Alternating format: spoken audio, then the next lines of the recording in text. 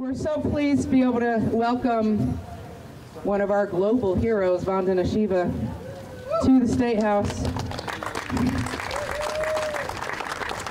Who's, who's setting such a great tone and is always on target with her message and helps us to learn how to speak better about the things that we need to speak about to shift the paradigm to a global poison-free food and farming world.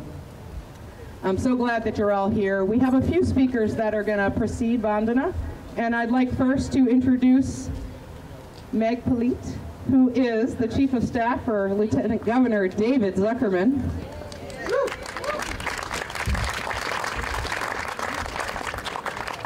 Uh, thank you all for being here. It's an honor to be here, and I'm so grateful for the work of Dr. Shiva.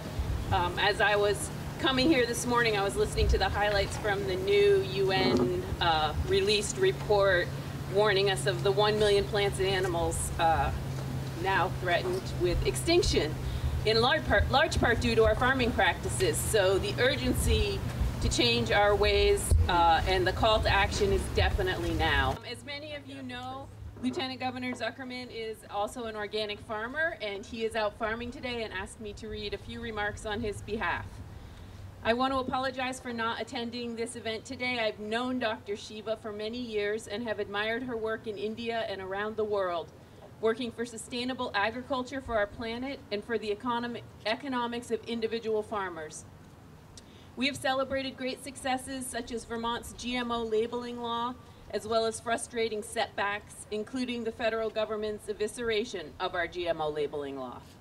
In that vein of sustainable agriculture, I cannot be here because I have to attend to my own farm on this one day of the work week that the legislature is not in session.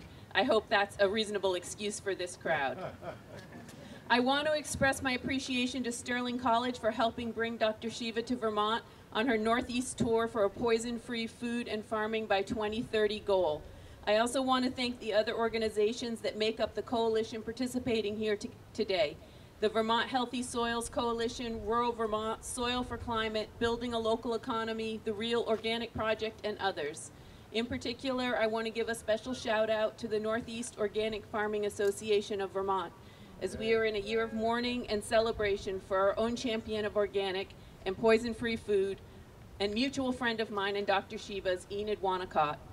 Just last week, I re received my heirloom apple tree to plant as part of the statewide orchard honoring her commitment to seed diversity and poison-free food. I look forward to planting it this week as part of the statewide and global web of dedicated people like those that are here today.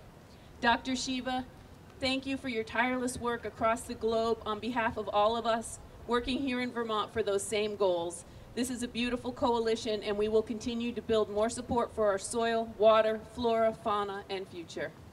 Thank you. Erica Campbell is the Vermont Ag Liaison for Senator Bernie Sanders. Right there. Good morning, everyone.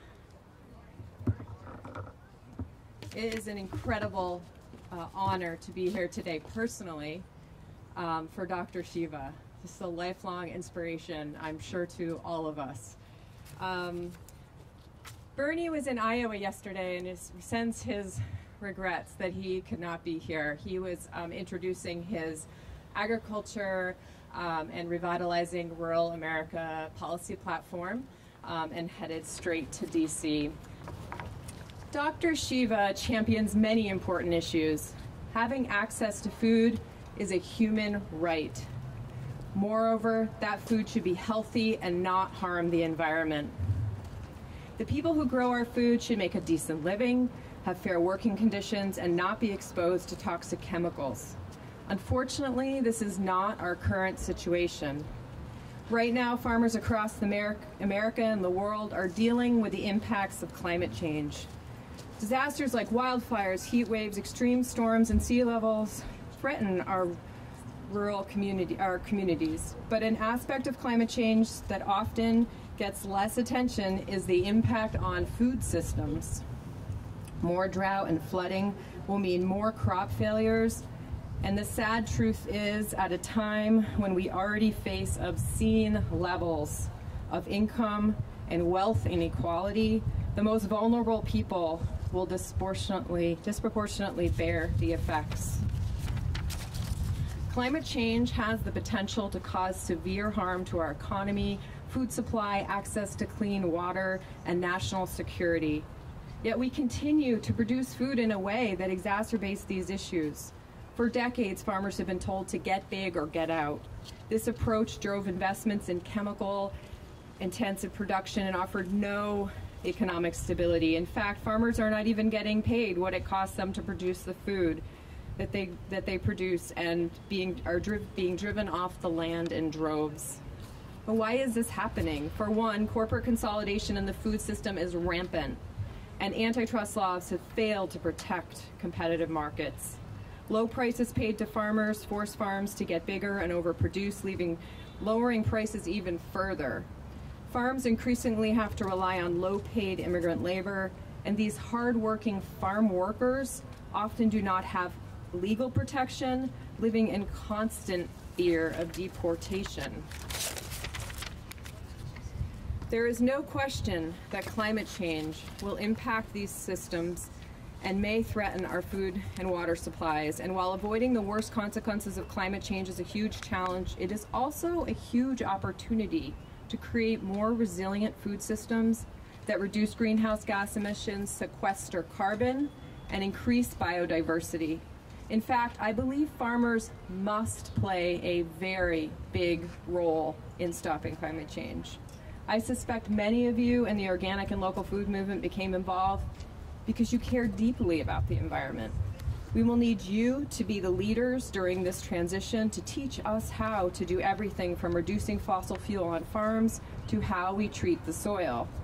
People have the right to healthy food and to know what is in the food they eat. We can and must transition away from chemically intensive farming. Recently, I co-sponsored the Green New Deal resolution. I was very pleased that ag and soil health were included in the bill and that people are beginning to recognize the very important role agriculture must play in addressing climate change and healthy ecosystems. We certainly have some things to celebrate in terms of what we have accomplished in promoting healthy food systems, but we can and must do much more at home and across the globe to create resilient and regenerative agricultural systems and to promote global food security. Thank you, Dr. Shiva, and all of you for good, your good work on this endeavor. Thank you so much, Erica, and thanks, Bernie. Um, I don't think I told you my name, and so I'll do that now. My name is Cat Buxton, and I'm here. Uh, I'm so delighted and honored to be here. Um, I'm representing the Vermont Healthy Soils Coalition, Rural Vermont, and a bunch of other great groups. I'm so glad to be here with so many of my heroes, one of which is going to come up and speak next. His name is Michael Bald. Mike Bald is an ecosystem hero. He runs Got Weeds, and he's going to speak for just a couple of minutes. Thank you, Cat. Brilliant event, brilliant occasion. Thank you, Dr. Shiva. Thank you, NOFA. Thank you, Rural Vermont. Thank you all for being here today. The weather is a challenge, I see that. My, my purpose here today is merely to share with you a list of names that I consider cities, towns, organizations doing honorable work on, on and for the land. So it's not just about food production, it's how we steward our landscapes. I have a list.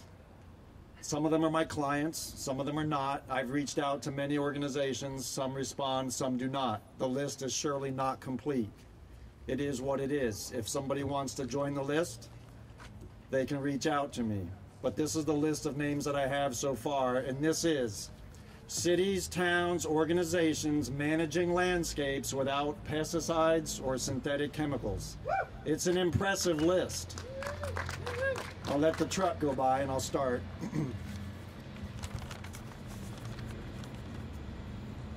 so I'm building up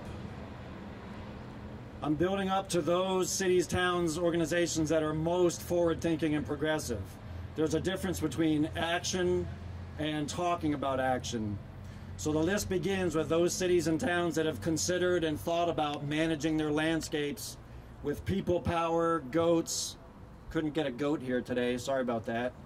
Um, and and just good energy and stewardship. So the list is Barre Town, Brookfield, Braintree, Woodstock, giant hogweed in Woodstock, Huntington, Windsor, Hartford, Brattleboro, Bellows Falls, Williston, East Montpelier, East Montpelier, giant hogweed.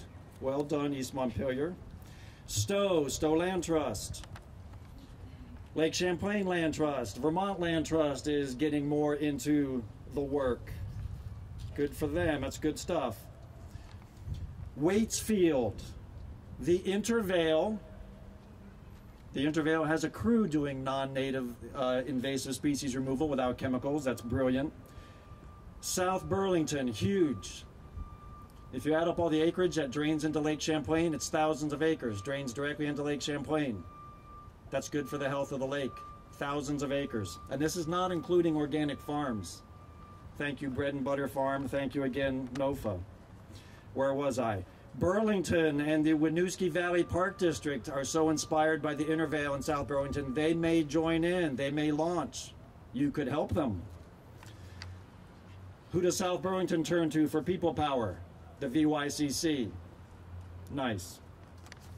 Shelburne, Pomfret, Pomfret, Vermont, probably the only place with 20 square miles where you will not encounter wild parsnip. That's what the people have decided they want. Randolph, Vermont, managing land every every day since Irene, no chemicals.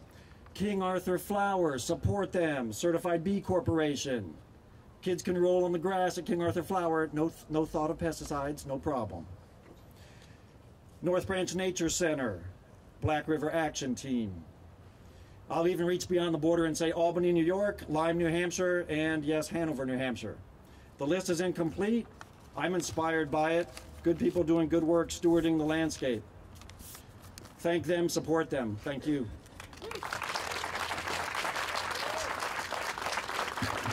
Thank you, Mike Bald. And next we have Karl Thidemann from Soil for Climate, co-founder of Soil for Climate, and another one of my heroes.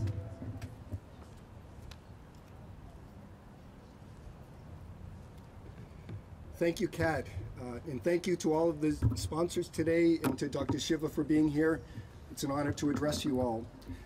Uh, for those of you who don't know, Soil for Climate is a 501c3 uh, nonprofit based here in Vermont. We advocate for soil restoration as a climate solution. Uh, everybody knows, or almost everybody knows, that every sector has to do what it can to reduce carbon emissions, transportation, housing, manufacturing, and so on. But agriculture alone has this superpower that it can not only turn down its emissions, but it can go below zero. In other words, we're relying on agriculture to get the excess carbon out of the air to solve the crisis that if we don't address it soon is going to be approaching like a tsunami. Um, we're honored to be a co-author of healthy soil legislation in Massachusetts and are supporting uh, legislation in about eight states around the U.S. right now. Uh, for those of you who want to follow this topic on a global scale, I invite you to join our Facebook group. We have over 11,000 members from more than 100 countries around the world. And it's been exciting. Just in the last week, we've had new members join from Peru, from Scandinavia, from New Zealand, from Pakistan. So what you're seeing today is truly part of a growing international movement. Um, in addition to the advocacy work that we do, we also feel that it's important to bring art and music and, poetry uh, into the climate movement as well. So I would like to uh, close with a poem I've written called Climate Farming. So, what's the future? Is there no hope? Healing the land can help us cope and grow better food with less flooding too. Put carbon in soil is what we must do. Draw down the heat, slow the sea rise, let birds and bees thrive in the skies. Good farming is how we deal with this mess. Now the climate's fixed, what's next to address? Thank you. Thank you, Karl Thidemann. I love your poetry. And next up is Dr. Will Allen. Will has been a lifelong activist. He's a farmer and author, co-manager at Cedar Circle Farm, convict, all sorts of things. Thank you.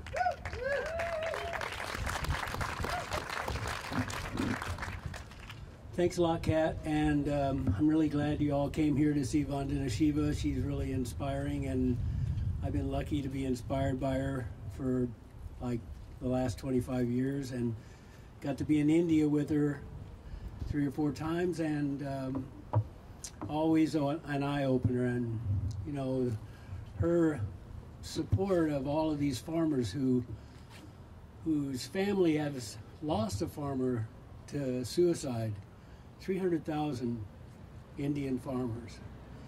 And all those farmers that gave up a kidney so they could keep their farms. And so being with her is really inspiring and this this period is really inspiring because like uh, Beyond Pesticides and Mike Bald, there are lots of people around this country and around the world who are now trying to reduce pesticides and um, chemical fertilizers. And one of those places is Denmark. Denmark has made a commitment to go completely organic. And um, we're advocating at Cedar Circle at uh, Vermont follow Denmark's lead and Bhutan's lead and Sikkim's lead because all of those states and countries are making a move towards um, a clean food system and a clean environment. Um, absent pesticides. Let me just talk a little bit about how Vermont um, could do that and actually needs to do a major change in their agriculture right now. If you look at the history of Vermont agriculture, it starts with us uh, taking down all the trees and uh, burning them up and then selling the ashes to the United Kingdom and France so they can make soap and other products. And then after the trees were gone, we got sheep after the um, the first uh, farm uh, movement started in um, in Massachusetts in uh, 1812, and at that time, merino sheep were introduced, and and so sheep took over Vermont, and it became a sheep farm, as much of New England was. And uh, then in the 1840s, the sheep started moving west and finally moved to New Zealand and uh, Vermont uh, changed over and started uh, dairying. And Vermont became the butter capital of the uh, eastern United States and uh, held that position until after refrigerated uh, freight cars were created. And then um, Vermont switched to liquid milk. Well, now Vermont is at a place where, when I got here 24 years ago, there were about 2,000 Vermont dairy farms. Now there's maybe less than 700 because nobody knows exactly how many farms are going out of business as this season starts. And so here we are at another time in Vermont's history where a change needs to be made. And this is an opportunity for us. Like Vandana is saying, this is an opportunity for this region to sell itself as a pesticide fertilizer free zone. And this is what we need to think about for the state that we want to live in. That state has been taken over by industrial dairying. I mean, if we went to Sterling College from Thetford the other day, and uh, we drove for an hour and a half, and we didn't see one cow out on pasture. They're all locked up. 137,000 cows are locked up 24/7 for their short lives. They, you know, they're all killed within five years after they're born, and you know, 57% of the beef on the market is dairy cow beef. And so, like, here we are, we're in this situation where our dairying industry is dying in Vermont. And it either needs to change dramatically or, you know, we're in this place where we're in this trap again, just like we were with butter, just like we were with sheep, and just like we were with trees. We've got to start looking at where are we going to go in the future. And this no pesticide, no chemical, no poison attitude needs to take over. I mean, we need to follow these other countries and states around the world that have been creative. So I will hope that you will join us and be really careful of what you eat and what you feed your kids and your grandparents because it's really important that um, you realize that what you eat is going to determine a lot about what our future is because agriculture is responsible, industrial agriculture is responsible for about half of the greenhouse gases. And here we're putting all of the of the troubles on fossil fuels when it's really agriculture, which is another huge problem. And don't forget that industrial agriculture is fossil fueled. We have 25 million tractors in this country. So let's be careful. Uh, let's eat well. Uh, bon appetit, and you're going to make the difference. Thanks a lot.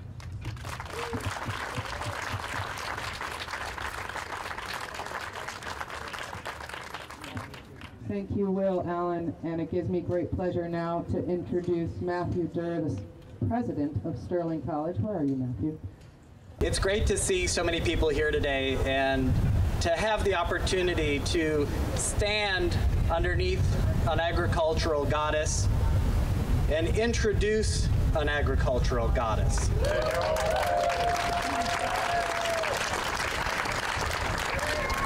So I think that we all know that humanity is facing an unprecedented ecological emergency. Earth has entered a period of abrupt climate breakdown and rapid loss of biodiversity. In the cradle of the industrial age, the UK Parliament, unable to address Brexit, has somehow stepped forward to acknowledge that we're facing a climate emergency and to all those students and people on the streets in the Extinction Rebellion, thank you.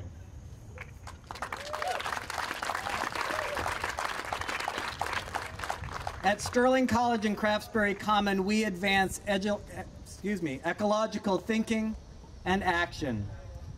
We aspire to offer anti-racist and anti-biased learning opportunities that use education as a force to address the problems caused by unlimited growth and consumption that are destroying the planet as we know it.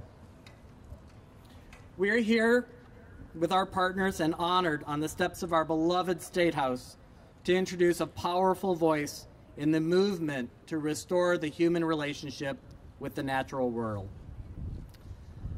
Dr. Shiva combines sharp intellectual inquiry and courageous activism in her work, which spans working with universities worldwide and with peasants in rural India.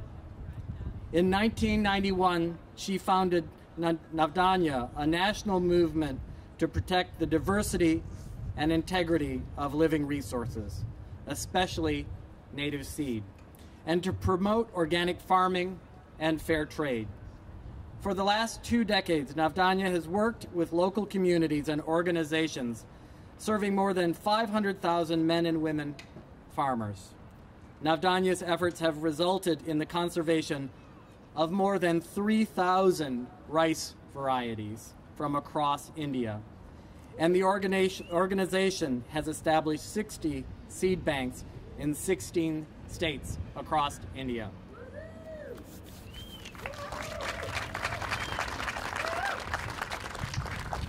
Dr. Shiva has contributed in fundamental ways to the changing practice and paradigm of agriculture and food on a local, national, and global level. Her books, the, Viol the Violence of the Green Revolution and Monocultures of the Mind, pose essential challenges to the dominant paradigm of non-sustainable industrial agriculture. We're delighted to welcome you to the Green Mountain State Dr. Shiva.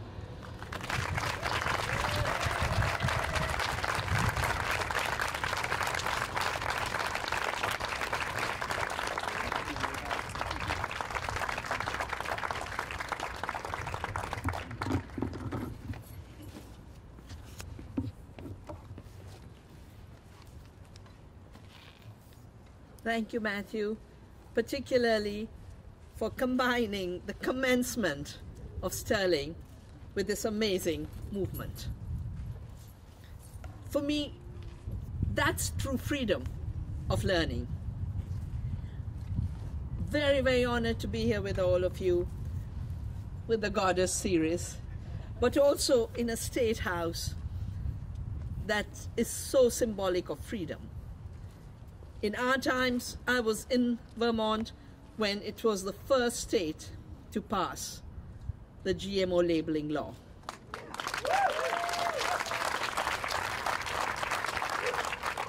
And I think the reason we've got to get rid of the poison cartel and make our food and farming poison free is not just because they're killing life on earth, our bees, our butterfly, our children. Just look at the figures. We've had two cases of cancer related to glyphosate and Roundup Johnson and Hardeman. Two cases are making Bayer sink after it bought Monsanto. But cancer cases are all over 14 million every year. 8.2 million cancer deaths. And we know only 5% cancer is genetic, the rest is all because of toxics in the environment and stress. This morning, the Intergovernmental Panel on Biodiversity and Ecosystem Services, which is like the IPCC of climate change, their reports come out. And they're coming out with a huge warning on the six mass extinction, the issue on which the Extinction Rebellion was on the streets. Climate change and species extinction, and the chronic health crisis, and hunger, and the destruction of small farmers' livelihoods are all one system. And these are all symptoms of a system that is not an agriculture system because agriculture is supposed to be care for the earth, care for the land. It's not supposed to be using leftover war arsenal to kill the earth, to destroy our farmers, and destroy the health of our children. Every chemical in agriculture came from the war. It came from developing poisons to kill people in the concentration camps. And that's why killing by these poisons is not a side effect, it is the intention.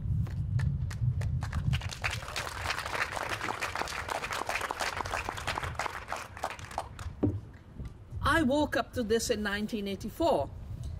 My background was physics. I've never studied agriculture. But 1984, when a gas leaked from a pesticide plant on Union Carbide, and according to local people, 7,000 people died that night. Just, it was a concentration camp. That's how the people of Bhopal talk about that night. That we were turned into a gas chamber. And I realized then that first I must understand why are we using these poisons? And I realize we're using poisons because I have named them the poison cartel. This handful of companies grew out of war, have continued the war against the earth and against life on earth. They've continued the war against our children. And it's this poison cartel is not just toxic to all living systems, it is behind the sixth mass extinction, including when you think deforestation. Why is the Amazon being chopped to grow GMO soybean so that royalties can be collected for every acre of soybean planted? The Amazon is the lung and liver of this planet. It's now becoming the toxic hub for all the animal feed to all the factory farms of the world and indigenous people are being killed. The forest itself is being killed. But as we saw in the case of the GMO labeling legislation, this poison cartel is toxic to our democracy. It's poisoning our democracy. All the efforts to preempt the law and undermine it is the only work they can do. And there are two attacks right now. The first is all the constitutional rights at every level, from the local to the state level, to the national and the global. It's either being destroyed through preemption or deregulation, or it's being attacked. The attack on the organic movement is so well organized. Diluting it, my friends are here, from real food comes from real soil. The vision of the poison cartel for the future is farming without farmers, farming without soils. Every bit of knowledge, a new monopoly. Climate Corporation bought by Monsanto, Soil Data Corporation, Solum bought by Monsanto. Insurance, like health insurance, is destroying the health system of this country, and Bernie has taken this up in such a strong way. Agricultural insurance is destroying farmers everywhere. And who's selling insurance? The people who now monopolize all the knowledge and all the data, and they sell it as big data. So I said, first they came and said, you won't have food there are no chemicals. You'll starve without chemicals. Then they came and said, you'll starve without GMOs. Now they're saying you'll starve without big data. And there's a new merger of the information technology, the biotechnology, the poison cartel, and big money, big finance. Food is where they want to make money from. And it isn't just that they make money selling inputs. They now want to make knowledge itself the ultimate commodity, but they make money after they make us sick. Bayer has bought Monsanto. Bayer is one of the biggest seller of cancer drugs. And we know how they tried to destroy our patent law because our patent law does not allow patents on seed and it does not allow absolute monopolies on medicine. It allows the creation and existence of generic drugs, which is why even the US generic drug is supplied by India. Because of the way we did not create patent monopolies. In the case of patents on seed, I had I worked with my parliament to say, but seed is not an invention, it's the embodiment of evolution. Creation unfolding. The brilliance and intelligence of centuries of farmers breeding. We've just saved a few thousand varieties of rice. Our farmers could take one grass, Oryza sativa, and turn it into 200,000 rice varieties. That's the brilliance of the biodiversity, the intelligence is in the plant, in the seed, in the farmer's minds, and they're treating life as empty, soil as empty, farmers' heads as empty. When I walked this morning through the State House with Matthew, I read a few of the quotations from governors of the past, from presidents of the past. Every one of them addressed the issue of slavery and the issue of freedom. For me, the poison free movement is the freedom movement of our times.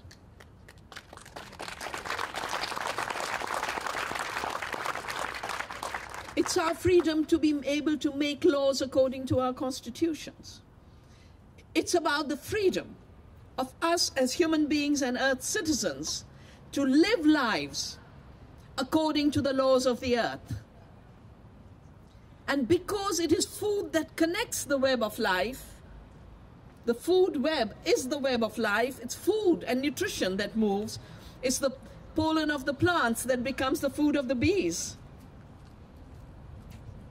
It's organic matter that becomes the food of the soil organisms, about which you have very, very beautiful drawings and paintings all over. Everything is food, our ancient texts say. Everything is something else's food. And when we poison food, we are poisoning the web of life. The poison free movement is therefore about defending our bees and our birds. Rachel Carson tried to wake us up to it decades ago. We must complete the work she started. It is about defending every farmer because every farmer is in debt for high cost inputs. And poison free farming means you can do farming without that debt. It's debt free farming. For me, in India, it's suicide free farming. It's about freedom from the seed slavery of intellectual property on seed. And I notice in the revitalization plan for rural America, Bernie has talked about addressing these seed monopolies. I did a calculation 10 billion is what American farmers are paying annually for royalties for corn and soya, GMO. In India, 80,000% was the increase in seed prices when Monsanto entered. Even though they'd had no patent, they could not have a patent because our laws don't allow it. That's what pushed farmers to debt. That's what drove the farmers' suicides that Will Allen talked about. We are working in the communities. We've dropped BT cotton GMO 60% in the villages where we work. And I'm going to work till the last GMO is out. My dedication to poison free food and farming is that every species can thrive in the future and not be pushed to the sixth mass extinction when we worry about 80% insects dying, well, we created an entire breed of chemicals called insecticides, whose one purpose was to kill insects. And Will Allen has done a brilliant book on the war on bugs. If you haven't read it, all of you should. It's that mentality of the war on every species, on the farmers, on indigenous people, after all, it was an exercise of extermination, which drove 90% of the First Nations to extinction. Extinction didn't begin now. It's an experiment that's going on for 500 years. And now it must stop. Extinction Rebellion is the freedom movement of our time.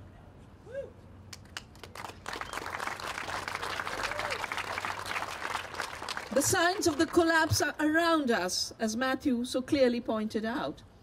But because we are members of the living earth and the earth family, if only we shift the paradigm from the militarized, monoculture, mechanistic paradigm that creates knowledge for war against the earth and war against people, and instead works with the earth and her processes and her diversity to regenerate the earth without poisons. We have a solution to climate change. Soils for Climate said it so clearly. My book, Soil Not Oil. We worked out while 50% greenhouse gases come from industrial agriculture based on fossil fuels and chemicals, 100% solution to climate change, both in terms of reducing emissions, absorbing past emissions and creating resilience and regeneration. One thing that is not getting common in the climate movement is that the climate chaos and climate disruption is a disruption of the living nutrient and food cycles of this planet. The carbon cycle is ruptured we took our attention to mining 600 million years of fossil carbon and forgot the amazing gift of living carbon. And that we have to be partners in cultivating that living carbon. And the more we increase it, the more the broken cycle gets healed. Or nitrogen. Synthetic fertilizers, also products of the war. They've ruptured the nitrogen cycle, and nitrous oxide is 300 times more deadly than carbon dioxide in destabilizing the climate. It's killing the soil, using 10 times more water. Single biggest reason for land degradation and soil destruction, which then leads to uprooting of people, it leads to desertification, it is leading to the refugee crisis, the inabilities of the land to support you. And Matthew and I were talking in Sterling how the, the new agenda, local, regional, and planetary, has to be returning home. Those who've destroyed this planet are talking often about only two options extinction or escape. In the colonial times, they escaped to this continent, they escaped to my land, they escaped to Africa, they escaped to Australia. That's what colonization was about escape. Now they're saying extinction on this planet or escape to Mars, but it's a dead planet. There is no planet B. This is the living planet we have to take care of. And poison free food and farming also means shifting our learning, our minds, our work, our hands to cultivating an abundant, diverse, living earth. She's waiting. She's waiting. So we save the seeds, we work with the animals. We refuse to accept that farming without farmers is production of food. We refuse to accept that farming without soil is production of food. We refuse to accept that petri dishes and lab meat and fake milk and fake cheese is going to be the future of health of our planet.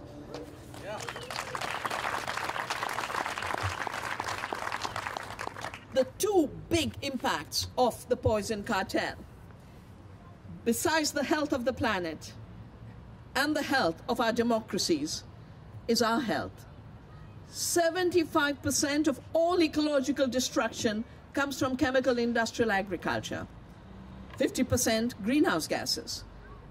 75% of the growing chronic diseases, which are growing exponentially, all of them are rooted in the industrial food and the chemical and toxic poisoned food that we are eating. We've done a new manifesto on food and health the total costs of healthcare in the global food system related illnesses. Let me just share them with you. Neurodegenerative diseases 2.5 trillion, autism 171 million, cancer 2.5 trillion, diabetes 2.5 trillion, endocrine disruption 549 billion, AMR infections 1 trillion, obesity 1.2 trillion, birth defects 22.9 billion. We are talking of a disaster.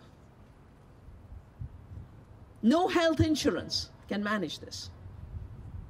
Only real food, real farming, and poison free food and farming is the solution. That's why we have to shift our minds to seeing agriculture and food production as protecting and rejuvenating the health of the earth, the health of our rural communities, and the health of our children.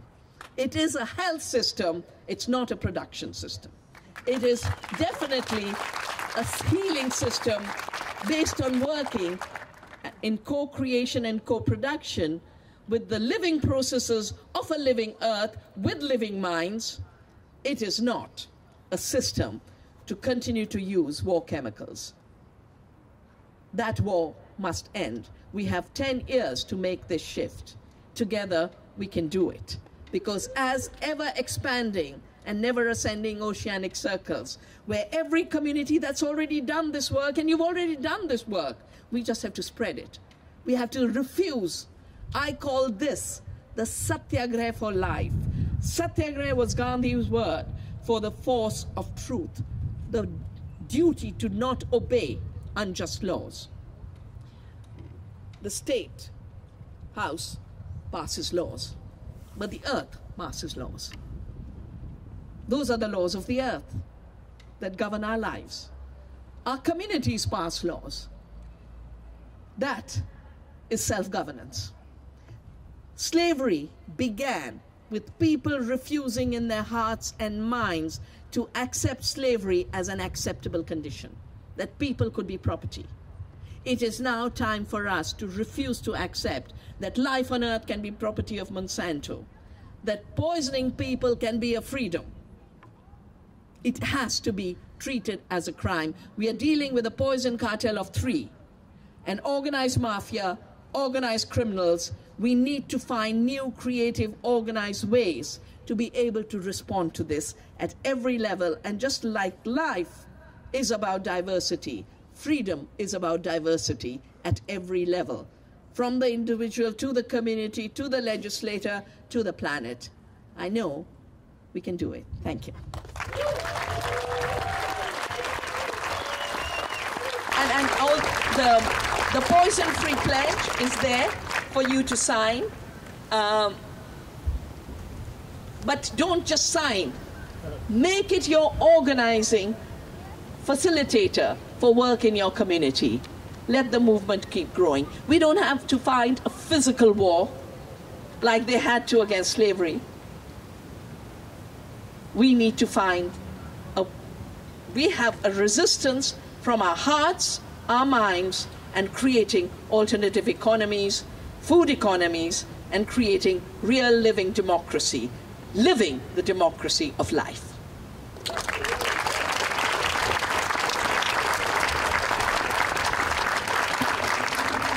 We would love to do a group picture. So if you would all please come on up and fill these two spots. Come on, everybody. And while you're gathering, I would like to give a very deep thank you to all of the sponsors that helped to put this event together, and also to those who have put together the entire Northeast journey for Dr. Shiva, Sterling College, School of the New American Farmstead at Sterling College, Navdanya International, Cedar Circle Farm, rural Vermont, Connecticut NOFA, Vermont NOFA, Mass NOFA, Bale, building a local economy, Vermont Compost Company, Soil for Climate, NYU at Steinhardt, Independent Science News, Real Organic Project, and Chelsea Green Publishing.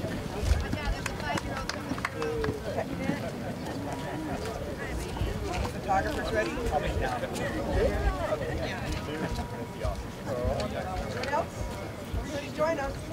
Everybody ready?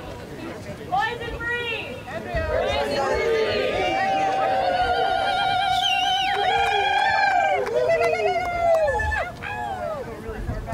Healthy and delicious.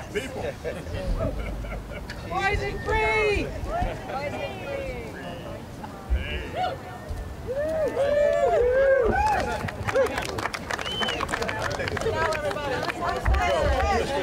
I would like to invite everyone to please visit with Dr. Shiva underneath the green tent for the next little while.